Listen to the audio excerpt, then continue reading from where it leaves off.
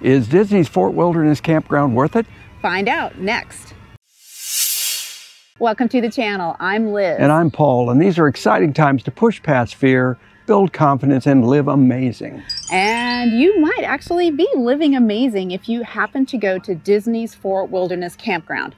Now, it's not for everyone. So in this video, Paul and I are going to talk about what we like about the campground and kind of give you a little bit of an overview. Yeah, I mean, it's uh, it is a little pricey. I'll say that up front, um, so you're prepared for it. There was certainly a sticker shock when I initially booked this thing. So if you don't know, we're full-time RVers. We've been on the road over three years, and we typically spend how much a night per camp? I'd say on average it's about 50 bucks a night when it's out of pocket. We have a membership with Thousand Trails. I'll put a link to that video where we actually pay $50 a month is what that works out. You know, we basically, yeah, Yeah, camp for free. yeah. But this is a splurge for us. Like I said, it's not for everyone, but you might find it's for you. Fort Wilderness has 799 campsites and 409 cabins. All of this on 700 acres on Bay Lake. The campground is located in Orlando. It's at Disney World, actually Buena Vista. Yeah, Lake Buena Vista is, uh, is what they call the town. I Mhm. guess it's a town that is owned by Disney, I think. Pretty much. So this is a Disney property. And let's talk about some of the pros and the reason why we booked it. Well, the convenience factor. We had four day tickets to go to Disney World and Epcot are the two parks that we chose. We figured that we would want to do, you know, a few hours, come back to the rig, re energize, and then go back and, and do the evening and watch fireworks and that sort of thing.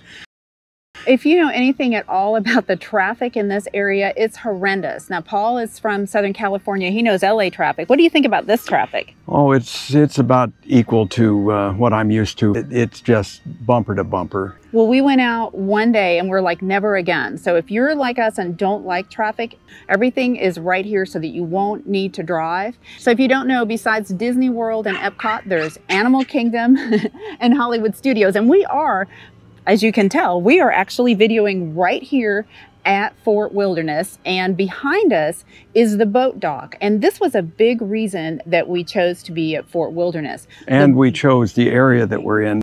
We got some inside information from somebody who had been here a few times. Hi, Gus. Thanks for the info. And he said to get into the, the 100 or 200 loop, and you'll be right by the docks, walking distance. It takes us, what, two minutes to, to walk right. here?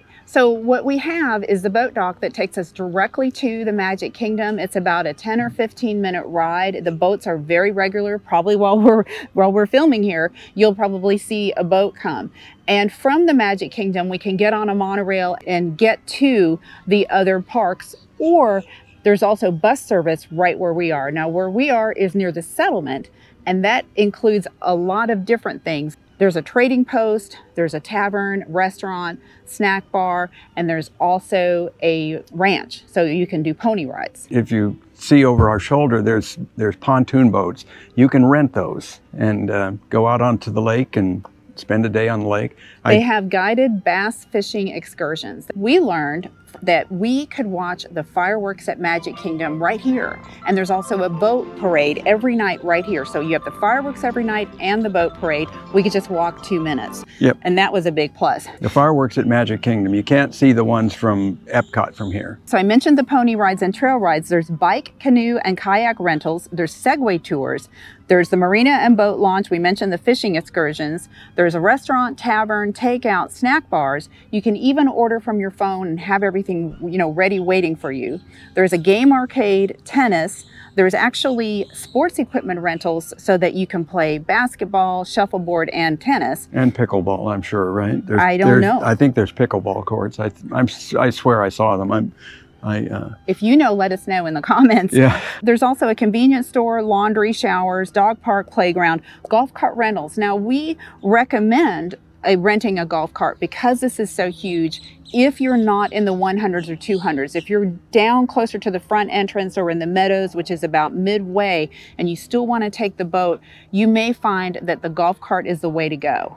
Yeah, it'd be a, it would be quite a walk from there to, to get here. But you Um, can get the bus. There's an in. yeah, there's a bus. There's bus stops all over the place, and the buses will take you, bring you here, or take you to the outpost. Up the outpost is where you come in. There's two kinds of buses. There's in the campground bus that'll take you to various parts of the campground, like a shuttle bus. And then there are the between the Disney park buses. Right. So you've got that. Now, more amenities. There's a two and a half mile running trail. They also have events every night. They have movie nights for the kids, campfire nights, there's family trivia, bingo, giant games, cornhole hole challenge, and even crafts like tie-dye. And they even have, for the adults, they have something called wine and woodwork. So you get to make something and drink wine. And drink wine. Oh boy. We didn't even mention that there's a swimming pool, did we? There's a whole big Oh, yeah. area for Yeah. kids. Yeah. You know, there's a swimming pool and there's all kinds of kids' activities. I mean, because it's Disney World, it's Yeah. what you expect, right? What is that noise? the dock is squeaking. It doesn't it sound like an injured bird? Yeah. but so a boat just went by. So Yep. Yeah. The waves. The the wake is is rocking the Yeah. dock. So yeah, yeah. So what we're looking at is Bay Lake. This is the same lake that the Contemporary Hotel sits on, and we just cross it and then we go over a water bridge and then we're into another lake, which is the lake you may be familiar with for going to Disney World. It's the one where you take the steamboat across or the or the monorail around and we go right there. Our total time here is a week, and what we felt like is that this maximizes our time at Disney because we don't spend that time sitting in traffic trying to find a parking space at each of the Disney parks. Yeah, our initial plan, we even had it booked, was we were going to stay in a uh, Thousand Trails park that's, what, about eight miles away. We decided after talking to Gus, we decided it was just worth it for us to be here to maximize our time at the parks. Now, for us, Disney's a special event. I grew up in Florida. I went to Disney just about every weekend. I had my high school grad night at Disney, but I hadn't gone in like 20 or 30 years. So I really wanted to make the most of it and then talk about your Disney experience. I lived about five miles from Disneyland in Anaheim. Actually, I lived in Orange, but Disneyland is in Anaheim. The last year in my Sticks and Bricks life, I had a annual pass for Disneyland, so I would go literally once a week. So you hadn't gone in over three years because of being on the Yeah, road. right. I hadn't gone in 20 or 30 years. So to put it mildly, we both were very excited. So we felt it was worth the splurge to do it Oh, yeah. just for that reason. If you have a big family or you've got the grandkids coming, having all these activities to do right here, I think would make it easier for you. Now, we should talk about the campsites. Now, our campsite is not that big. Now, what we have for that in the 100s and 200s, the campsites are small. We're, you know, that's not a problem for us.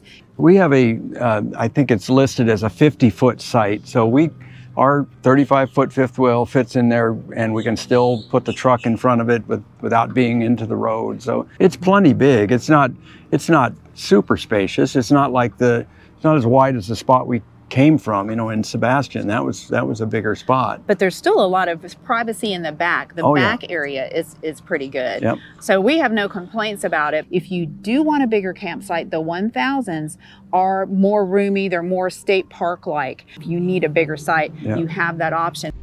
So here's an insider tip. We went to Epcot yesterday and we had asked one of the rangers here what how to get there and they said, well, you take a bus from the settlement to the outpost and then catch the Epcot bus from the outpost. It takes you directly there.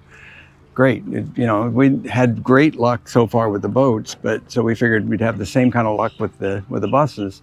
Well, hmm. we caught the bus up here pretty quickly, and then we went down to the outpost and waited for about 30 minutes before a bus showed up. It ended up taking us over an hour to get there. We think we can cut that almost in half. We think it'll be quicker if we take the boat directly to Magic Kingdom, the express monorail to the gate and ticketing, and then the Epcot monorail into Epcot. Um, the buses, now we have to admit that we took the bus in an off-peak time. It was just about 12:30 in the afternoon. They probably weren't running as many. Let us know if you have taken the buses and you find that faster. We actually talked to somebody who claims that taking the car to the parking lot is faster than the boat. We don't believe that. The boats come pretty much every 15 or 20 minutes from a half hour, an hour before the park opens to an hour after the park closes. Right. The park is open 9 a.m. to 11 p.m. Yep.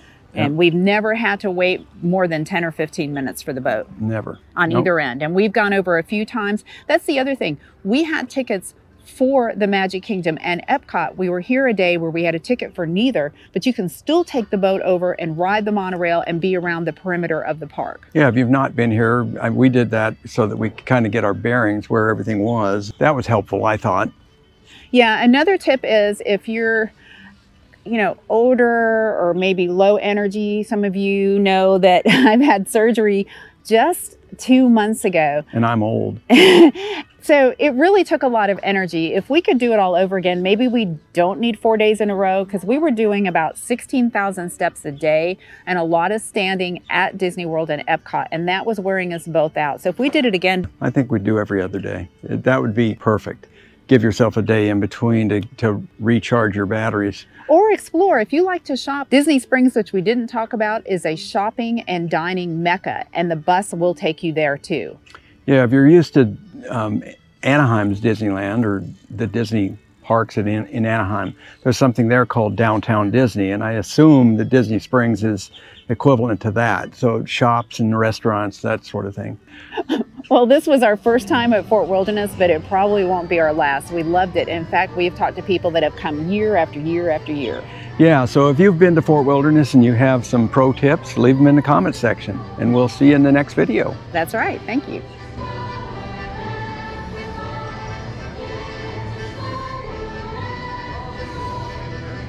Oh, make it stop.